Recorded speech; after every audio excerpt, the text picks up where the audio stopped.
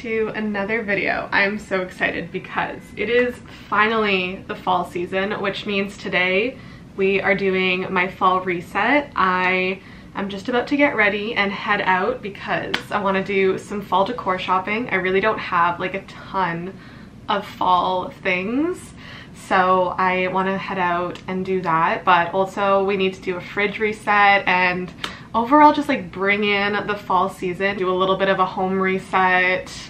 Yeah, that's kind of what we are up to today, but I'm about to get ready, do my makeup so we can head out and go do that. I've already been eyeing a few fall pieces and I so badly wanted to buy them earlier, but I was like, Vanessa, just hold off, just wait, you can wait. And now it's like mid-September, which I feel like is the perfect time to finally get into the fall season. I was savoring the final last few weeks of summer because there was definitely a heat wave in Toronto, but now that that's over, it's like nice and cool and crisp in the mornings, like 10, 11 degrees. By the afternoon, it's still like 20 and beautiful, but it definitely feels more like fall and so I feel like we're ready. But with it being fall, I definitely have been changing up my routines a little bit and a somewhat newer recent addition to my skincare routine, which you guys would have seen this morning, is Osea's Plumping Hydrating Duo. I had been looking for a new cleanser and hyaluronic acid, which is, this is Osea's Ocean Cleanser, and then their Hyaluronic C Serum. The Ocean Cleanser gently exfoliates and unclogs pores without stripping the skin. And for someone who has pretty sensitive skin, that was super important for me because my skin easily gets red and inflamed. So whenever I'm looking for products, things that protect your moisture barrier and also just gently exfoliate, it also delivers mineral rich hydration. So really boosting that hydration and plumpness of your skin as well. And then the Hyaluronic C Serum is proven to help reduce the appearance of wrinkles and fine lines and also provides instant hydration and overall delivers like a firm lifted look for your skin and face. Not only is Osea female founded, but all of their products are also clean, vegan, and cruelty free and based from seaweed ingredients. So super natural and clean for your skin. All of the products also smell amazing. They have such a fresh scent, like it's not overwhelmingly perfumed or just fragrant, but they just feel and smell so clean and fresh. Also, I love that the cleanser and hyaluronic C serum come in a duo, which saves you a bit of money. So you're getting a $136 value for $110, but you guys can also for a limited time use my code Vanessa for an additional 10% off. I will leave all of the links down in the description box below for you guys to go check out, but I just know you are going to love Osea. Not only do they have skincare, but they also have have body care if you've been looking for some more natural body care products as well. But I'm to do a little bit of light, sort of autumnal fall makeup now before we head out and go do some decor shopping. I'm just thinking something light and glowy, basically the same as my everyday routine, but like a little bit more orangey and peachy. I feel like tones in the blush and maybe a little bit of eyeshadow or something that just feels a little more fall.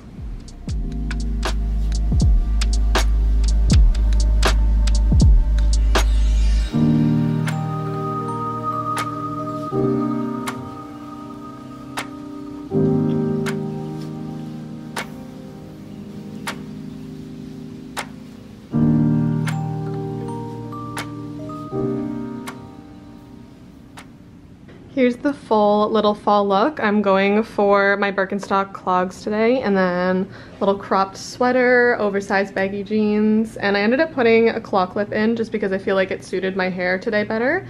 But I'm gonna grab a purse and then we are heading out.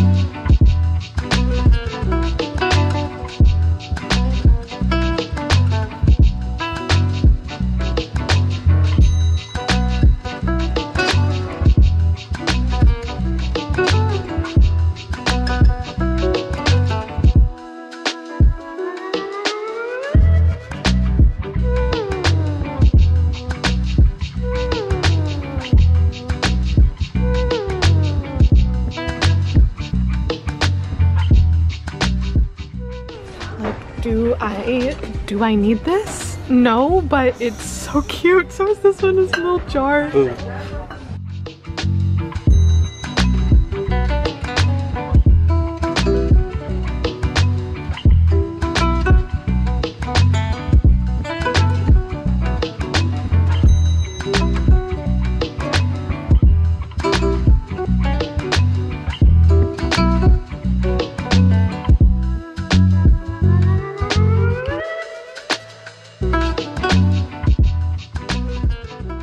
Am back from my little fall shopping outing. Let's do a grocery haul first because honestly, none of my resets are complete without a grocery haul, so fall cannot be any different. Let me show you guys all of the groceries that I picked up and some are definitely very fall themed.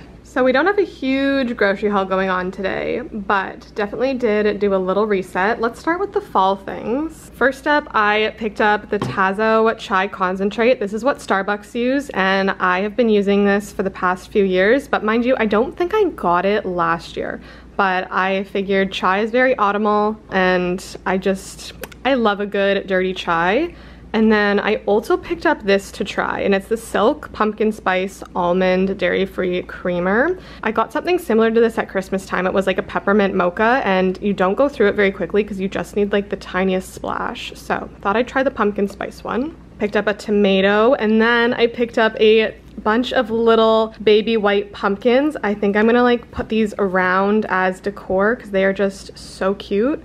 And then I also got a butternut squash. I am a sucker for butternut squash soup and it is now soup season. So got that. Got some tofu, mangoes, bananas, some fresh Ontario carrots. These look so good. I'm so excited to either make like carrot soup or stir fries. These just look delicious. Some onions, cherry tomatoes, cucumber, and then for protein this week, I got a rainbow trout, chicken, and then just some spinach. Moving on to what is arguably the better half of this haul, I stopped in Joe Fresh hoping to find some UGG Tasman dupes because last year that's where I got my regular mini UGG dupes, which they had again, and they actually had shorter ones than what I have, so I was very tempted to get just another pair of dupes because my ones from last year, they were $35 and they held up so well. Like I still have them for this season and they're in perfect condition but I couldn't reason getting almost an identical pair. I really, really wanted the slipper style, which they had like UGG style slippers without the heel. I was like, those really are just house slippers, so I couldn't reason it. But we did get a good amount of stuff at HomeSense and Marshalls. I didn't get everything that I wanted to get. There was a few more like little pumpkiny things. I just couldn't find ones that I loved, but let's go through what I got. First up, we have a pumpkin caramel syrup. They didn't have just a regular pumpkin syrup, but I got this sugar-free pumpkin because if you know me, you know I love making at-home lattes. And as much as I do love getting the odd latte out, like obviously I went and got my pumpkin cream cold foam cold brew today. But more typically, I'm just an at-home coffee gal and I want to be able to make at-home pumpkin spice lattes. So I thought this was perfect. I also don't love super sweet syrups, so I'm looking forward to trying this one because it's sugar-free. I honestly didn't read the ingredients and I'm kind of going, I hope it doesn't have aspartame or like any of the bad ingredients now. I'll read this and then decide if I want to keep it, but regardless, I if I return this, I'll be finding another pumpkin syrup. The next thing is I'm adding to my fall mug collection. I think I only have one other fall mug and it has a pumpkin outline on it. So I thought this one went really well. It just says morning pumpkin on it with a little bit of orange and a little baby pumpkin. My grandpa always calls me pumpkin, so I thought this was just too cute. And none of the other mugs were really vibing with me. I wanted one that looked like a pumpkin, but all the ones that did had like writing on them. So this is what I went with. I also got some new tea towels and I went for one with a floral pattern that still has these autumnal colors going on because I thought I could still use this more all year round and they're just more interchangeable rather than straight fall leaves or pumpkins. It just has kind of a hint of autumn, but there's nothing other than the color that really screams fall. So I wanted to get something that I can kind of use all year round versus everything else is like very fall. The next thing is a little pumpkin hand soap. I thought this was too cute and I couldn't resist because not only is it filled with soap, so A, great, I just bought a new soap, but also I can refill it with whatever soap I buy in the future and keep it for every year. So I love this. The next thing I got, similar to last year, I got a pumpkin candle and they had way more pumpkin candles this year. The one that I got last year was like the only one that they had, which I actually still have a little bit of it left. This is the one that I got last year. Still has a little bit of candle left in there. It was like the only pumpkin shaped candle that had like a lid at HomeSense at all. And this year they had so many different ones. I just love that once the candle's done, you can reuse them again. But this is another little pumpkin candle smells so good but then also doubles as pumpkin decor and for the most part you kind of see I went with like the orangey theme. I kind of wanted to stay neutral at the same time I do love the autumnal colors because I also have a burnt rusty orange duvet cover that kind of goes with all the colors of the things that I got and I'm like I might as well I already have that bright orange thing that we're just gonna play into that color. The next thing that I got, I was really looking for some pumpkin pillows and all the ones were either like not orange or not plain. They were like plaid and I didn't love them, but I did find this one, which I'm not sure if I'm gonna end up keeping, but I really liked the burnt orange and like it's just squishy and cute. I just don't love this because it's like hard and not like a pillow but otherwise also picked up this giant gray one which this was more what I was looking for and then hoped to get like some smaller ones to go with it. But this was the only one that I found that I actually really liked. It's just plain gray and then has like a little knob at the top. The last thing that I picked up Alan kind of convinced me to get but it's this little guy and he says boo and I just thought it was so cute and I could put like a candle or something inside him. I'm like, this is my little hint of Halloween. I'm not the biggest Halloween gal, but I just thought that he was so cute and I'm like, I can't, I can't pass this up. Alan was like, you need it. And I was like, fine, fine, you've convinced me, like you just needed to tell me that I need it. So I got it. It just says boo and it's a little ghost but yeah, I'm thinking of putting like a candle or something inside it just as a little bit more decor. But that is everything that I got. So now is the fun part and I'm gonna throw on some more comfy pants, get out of these jeans, and we're gonna decorate my apartment.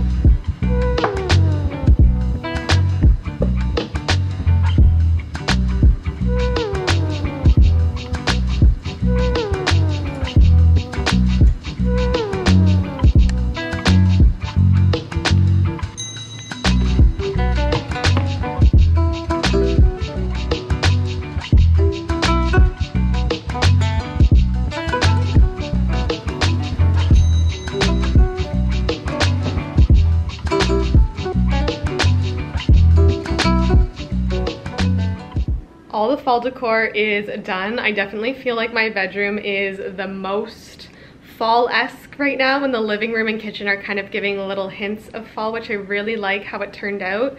I do wish I had a few more little pumpkin pillows for the couch, so I might end up hunting like throughout September and October for a few more of those, but overall I'm really happy with how everything turned out.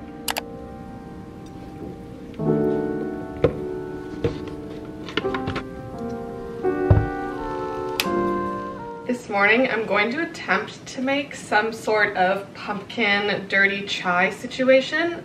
I feel like it's probably going to take me a few times to find and make the exact recipe that I really like because I don't love a super sweet morning coffee, but we have the ingredients. I just have to kind of decide if I want to do like both the pumpkin creamer and the pumpkin syrup with the chai because the chai is already pretty sweet and then like how much of each I want to do. So I'm not 100% sure, but we're going to start by making my espresso. I always get asked which espresso machine I have. And I have the Breville Cafe Roma. I've had it for almost four years now. I definitely want to upgrade at some point, but she is the cheapest Breville you can get. I think it's like $150, $200. Not anything crazy. She does the job, but is slowly giving out on me. Would like to upgrade her at some point, but for now, she does the job.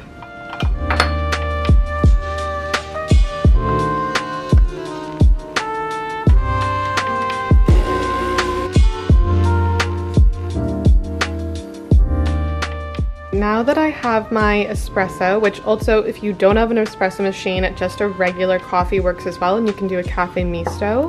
But I think I'm gonna start with half chai and half milk.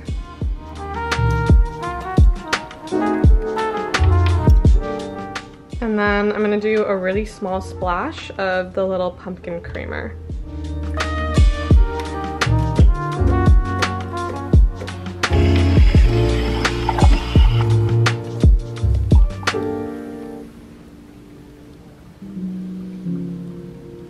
Then I'm just gonna do the smallest drizzle of the pumpkin caramel syrup so that it's not too sweet.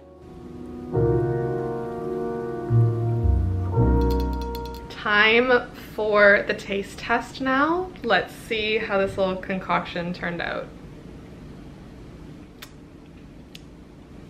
Okay, I definitely made it a little bit too sweet. I think I will do way less chai next time but it definitely is very pumpkiny chai, but I think more milk, less chai, and then go from there in terms of if I need to do less of the pumpkin creamer or less syrup. Still really good. It's just way too sweet for me, and I know that's mainly coming from the chai. But I wanted to sit down and do a little bit of hashtag 90 grow challenge catch up and chat with you guys and just like a progress update and update you on how that's going because just over halfway done the challenge so I thought it would be a good idea to sit down and do that now.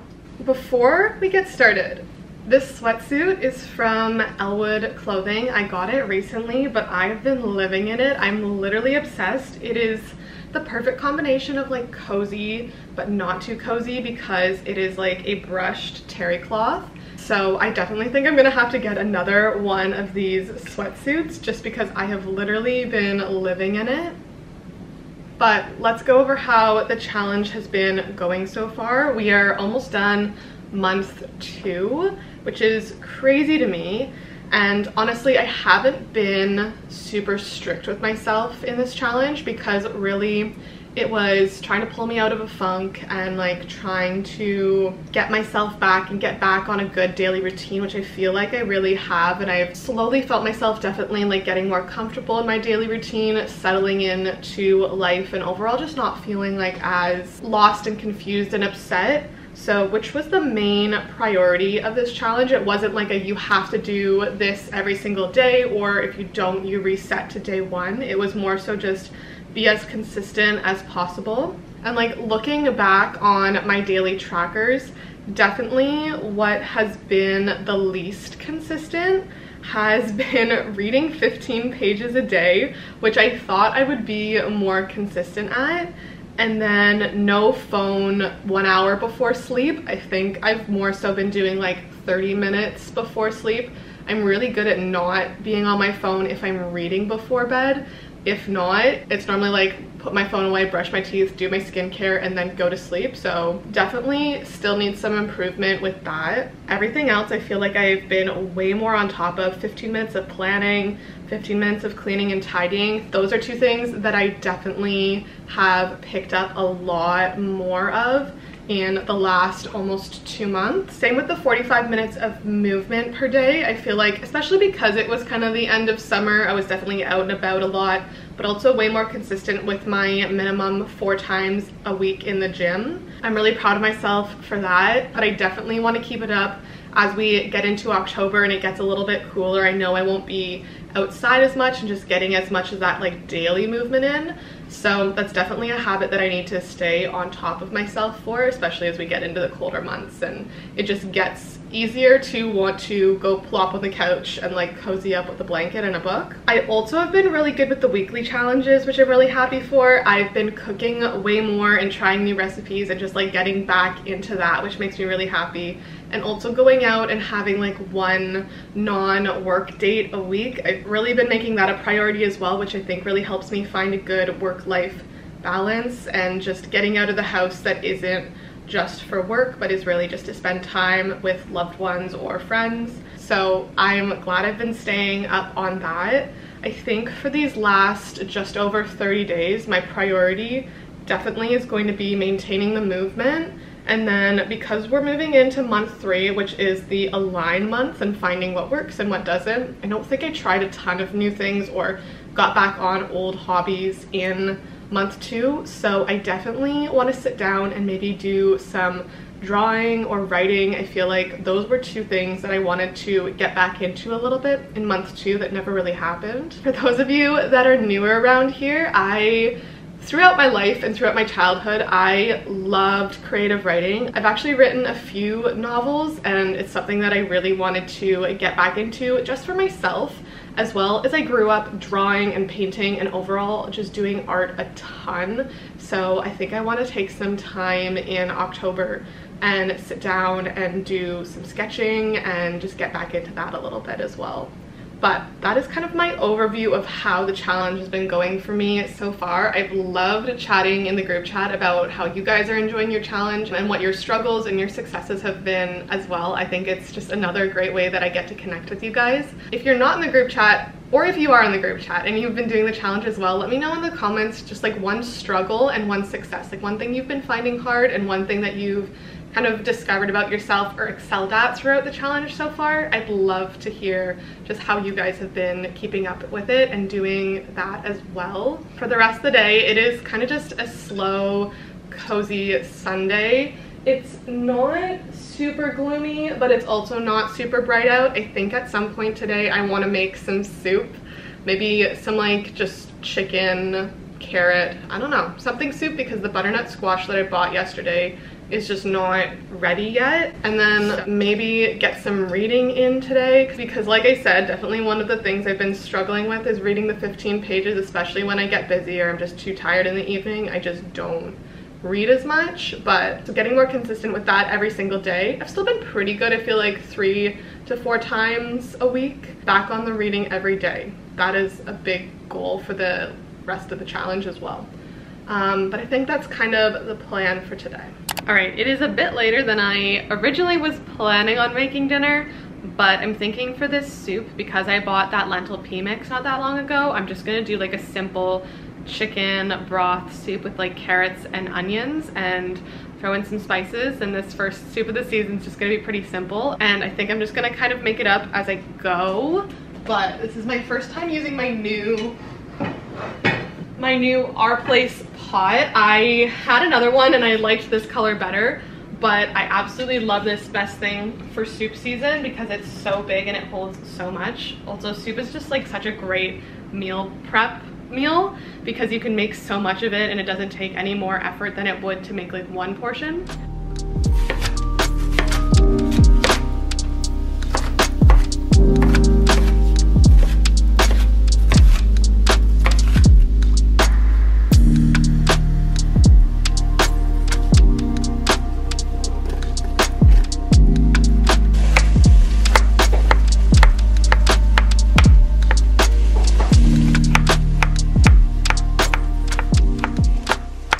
Typically if I don't have leftover chicken, I will boil chicken breasts for soup. I know this probably looks really weird, but there was just some olive oil and water in the bottom and then seasoning on top and then put it on high until it comes to a boil and then close and cover for a simmer and it creates kind of like crock pot chicken, like very tender, easy to shred chicken that's perfect for like soup or like salads and just easy shredded chicken.